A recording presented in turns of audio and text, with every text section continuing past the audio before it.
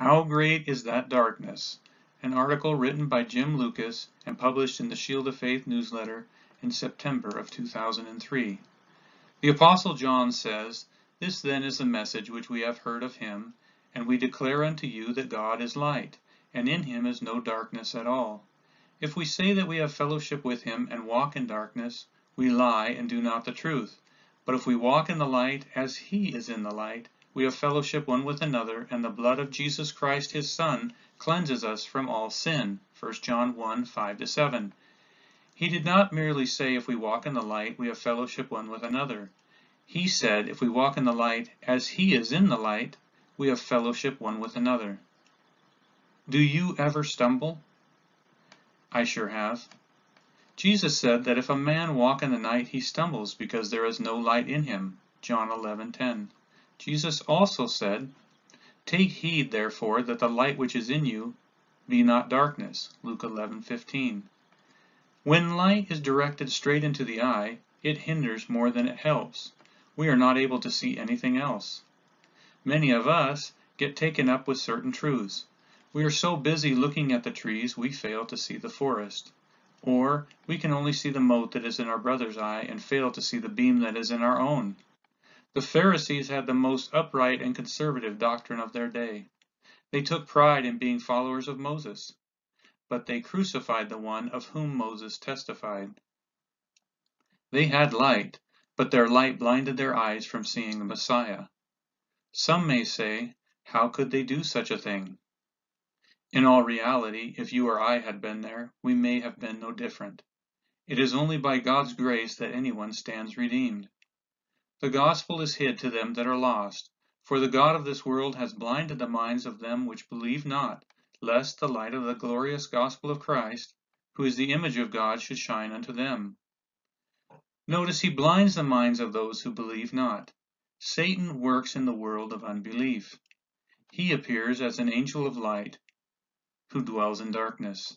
2 Corinthians 11:14. Our unbelief gives him a place in our lives. He will bring some truth to our attention that obscures what God wants us to see.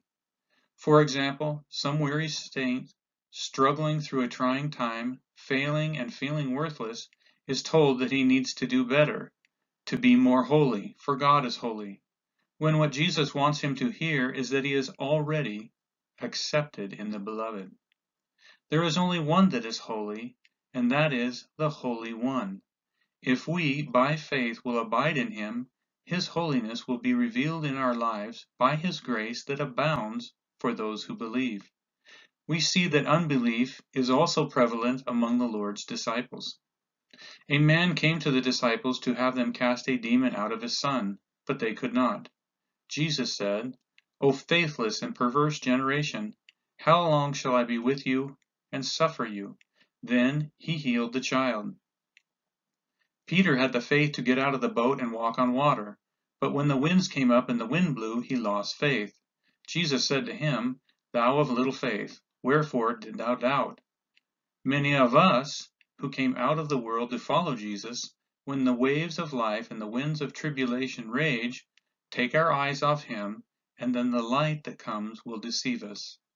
When we fail to keep our eyes on Jesus, we become concerned about self.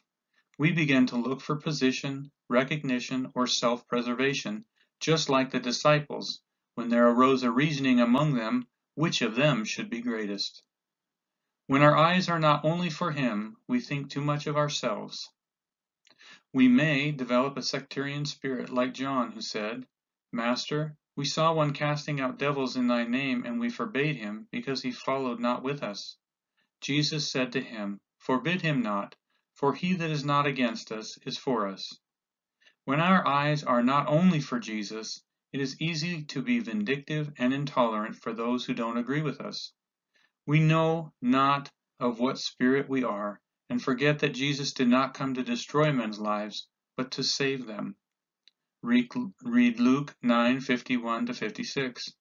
It is amazing how a saint one minute can receive a great revelation of God and the next minute walk in darkness and become an instrument of the prince of darkness. For example, Peter had a tremendous revelation of God concerning who Christ was. Thou art the Christ, the Son of the living God. This was not revealed unto him by flesh and blood, but by our Father in heaven. Then Jesus began to explain to his disciples how he must go to Jerusalem and suffer many things. Peter took him and began to rebuke him, saying, Be it far from thee, Lord, this shall not be unto thee. Peter is standing against the Lord, even rebuking him. His flesh is at enmity with God. He is the savoring the things of man, not of God. Matthew 16, 15 23. He was being used of the enemy to discourage Jesus from fulfilling his mission.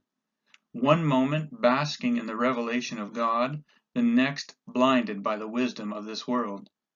Perhaps he thought he was noble in his endeavor to spare Christ from suffering. Peter did not understand the wisdom of God, and Jesus, speaking of the cross, was foolishness to him. See 1 Corinthians 1.18. Peter at this time was still a very carnal believer. He lacked in the humility and brokenness that was to come. After his boasting that he would never deny Jesus, the night that Jesus was arrested, he denied him three times, then went out and wept bitterly. Jesus explained how it is that we are capable of such actions. The light of the body is the eye. If therefore your eye is single, the whole body is full of light. But when your eye is evil, the body is full of darkness. How great is that darkness! Matthew 6, 22 23. The darkness is so great that one is capable of doing evil believing that all is well. The eye is directed by the heart. See Proverbs 420 23. When the eye is single, we abound in light and grace, but when the eye is evil, or not single, we abide in darkness. Jesus said, No man putting his hand to the plow and looking back is fit for the kingdom of God. Remember Lot's wife. We may, like Peter, stumble around for a time in darkness, but we must eventually come to brokenness and true repentance of heart. Then we only have eyes for our precious Lord Jesus, the fairest of ten thousand, and the lily of the valley. Take heed, therefore, that the light which is in you is not darkness. If the whole body therefore is full of light, having no part dark, the whole shall be full of light as when a bright shining of a candle does give thee light. Luke 11, 35 and 36. If we walk in the light as he is in the light, we have fellowship one with another, and the blood of Jesus Christ his Son cleanses us from all sin. 1 John 1, 7.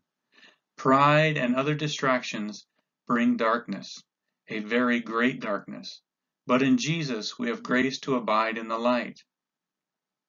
Faith is the victory that overcomes the world.